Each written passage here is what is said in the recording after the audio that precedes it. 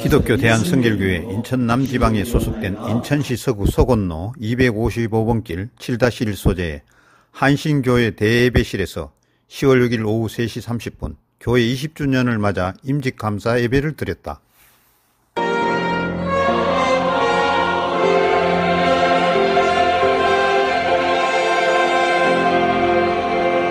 이날 한신교회 20주년 임직 감사 예배 일부 예배는 김정복 담임 목사의 인도로 시작되었으며 사론 찬양대와 시온 찬양대가 연합하여 주의 이름은 크시고 영화롭도다의 찬양이 있은 후 마태복음 7장 24절부터 27절 말씀에 근거하여 인천 남지방 회장 진영학 목사가 듣고 행하는 자라는 제목자의 말씀이 있는 후 일부 예배를 마쳤다.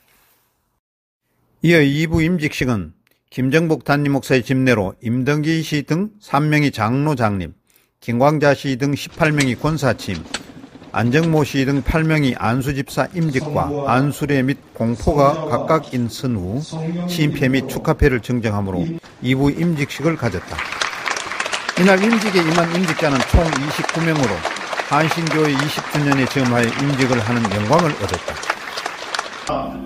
권사로 취임하게 됨을 온 성도와 함께 축하드리며 마지막 3부 축하 시간에는 먼저 권면의 순서로 길교회 조재수 목사가 장로에게 간석 제일교회 장작 원로 목사가 권사에게 에덴교회 권정수 장로가 안수 집사에게 각각 권면하였다. 또한 축사는 활천교회 강영주 목사가 임직자에게 교단 총무 김진호 목사가 교회에게 각각 축사를 하였고 임직자 대표 장덕인 장로가 답사를 했다. 끝 무렵 유연재 장로의 광고가 있은 후 찬송가 1장 만복에 그는 하나님을 다 같이 부른 뒤 신일교회 최세계를 원로 목사의 축도로 모든 예배 순서를 마쳤다.